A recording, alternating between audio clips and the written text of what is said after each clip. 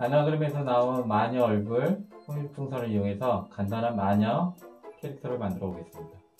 주입구 부분에 끈을 연결할 수 있게 요술풍선을 말아서 묶어줍니다.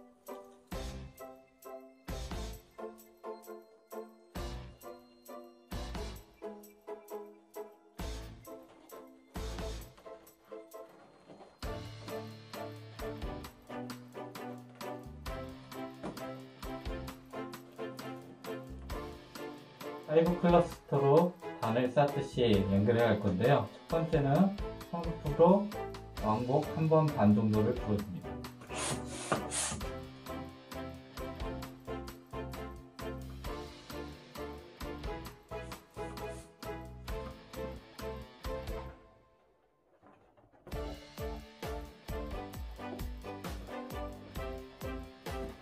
클립과 triple을 이용해서 five cluster를 만들어줍니다.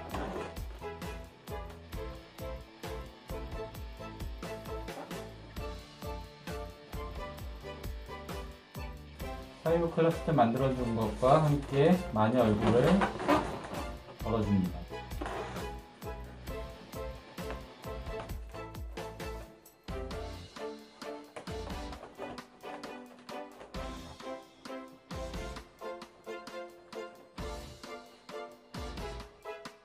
두 번째는 펌프 왕복 한 번으로 불어줍니다.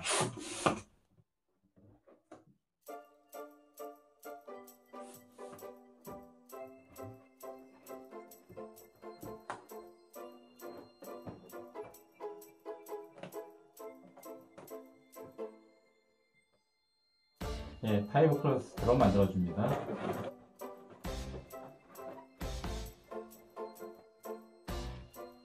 두 번째 클러스터 만든 거를 또 연결해 줍니다.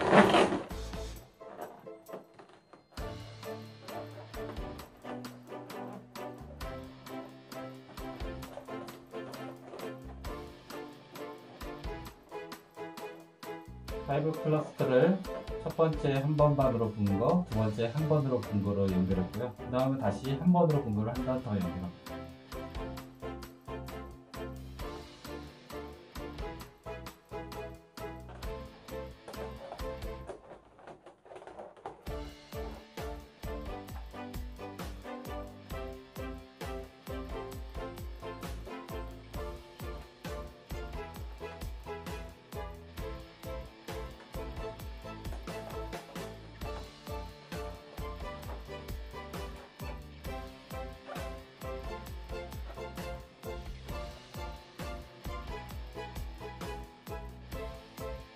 five cluster 총 4단을 연결했는데요. 첫 번째 단부터 설명 다시 하면 한 번 반으로 분 거, 그 다음에 한 번으로 분 거 두 단, 그 다음에 마지막 네 번째는 다시 한 번 반으로 분 단입니다. 마지막 단이 되는 부분인데요. 펌프 왕복 3번으로 triple 한 세트를 만들고 duplet은 펌프 왕복 3번과 작은 방울 하나로 duplet을 만들어줍니다.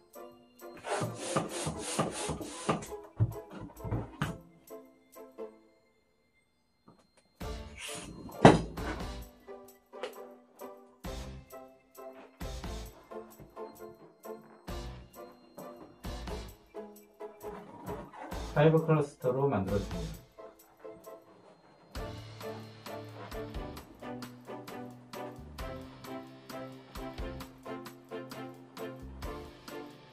네, 마지막 단을 연결해 줍니다.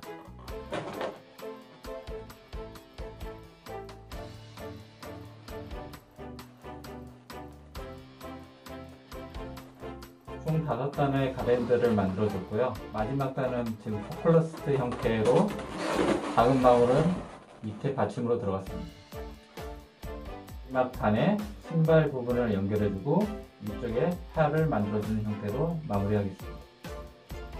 5인치 라운드의 요술 260을 넣어서 신발 모양을 만들어 보겠습니다.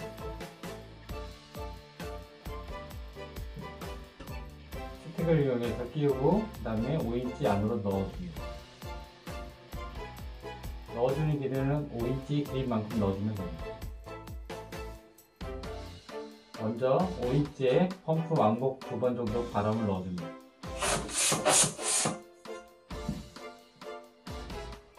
다음 안에 넣은 이륙공에 바람을 한번반 정도 넣어줍니다.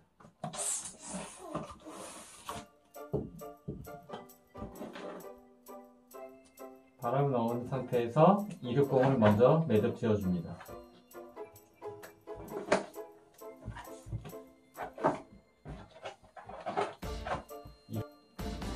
이륙공은 잘라 정리합니다. 오이지도 매듭을 한번 지어줍니다.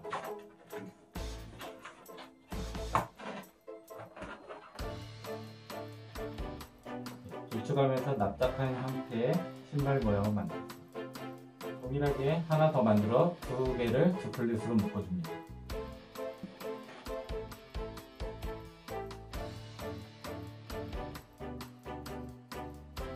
마지막 단 앞쪽에 나란히 놓이도록 끼워줍니다.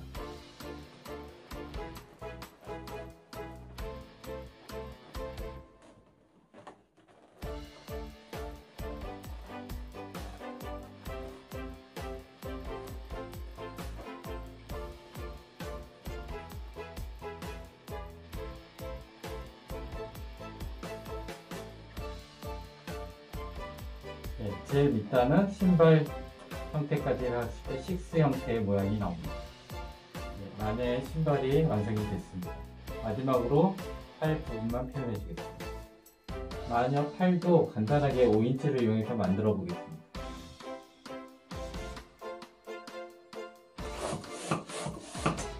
이 형태로 두 플릿을 먼저 만들어 줍니다.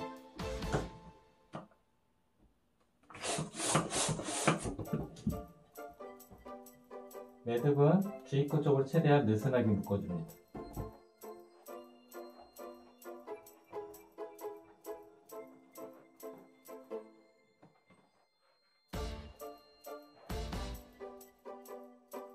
느슨한 형태의 주입구를 묶어주고요. 그 다음에 부러진 모양을 눌러서 팔 모양을 만들어줍니다.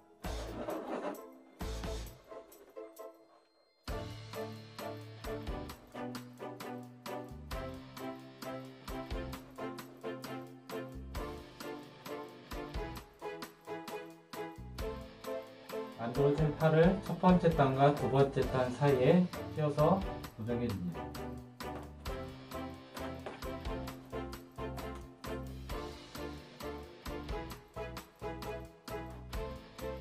마녀 얼굴 호일 풍선과 라운드 풍선만을 이용해서 간단하게 만들어보는 마녀 캐릭터입니다.